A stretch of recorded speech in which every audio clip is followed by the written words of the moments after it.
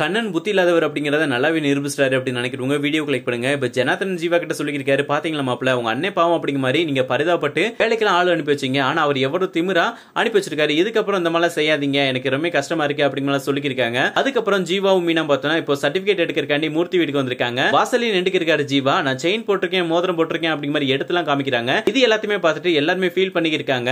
இப்படி மாறிட்டாரு அப்படிங்கிற மாதிரி முள்ளையெல்லாம் பார்த்தோன்னா யோசிக்க ஆரம்பிக்கிறாங்க. இன்னொரு பக்கம் ஐஸ்வர்யா கிட்ட கண்ணே சொல்லியிருக்காரு. பணம் பத்தாது போல அதனால நான் இன்னொரு வேலைக்கு போறேன் அப்படிமா சொல்லுவோம். அதுக்கு ஐஸ்வர்யா சொல்லியிருக்காங்க நம்ம கிட்ட தான் யூடியூப் சேனல் இருக்குல்ல அதுல நம்ம ரெகுலரா வீடியோ போட்டோம் அப்படின்னா கண்டிப்பா வியூஸ் நல்லா பிச்சுக்கும். நம்ம வீட்டுக்குள்ளேயே இருந்து போட்டோம் அப்படின்னா பெருசா பெரிய லெவல் எதிர்பார்க்க முடியாது. அதனால நம்ம வெளியில போய் நல்லா ரீல்ஸ் வீடியோ போடலாம் டான்ஸ் பண்ணி அப்படிங்கிற சொல்லியிருக்காங்க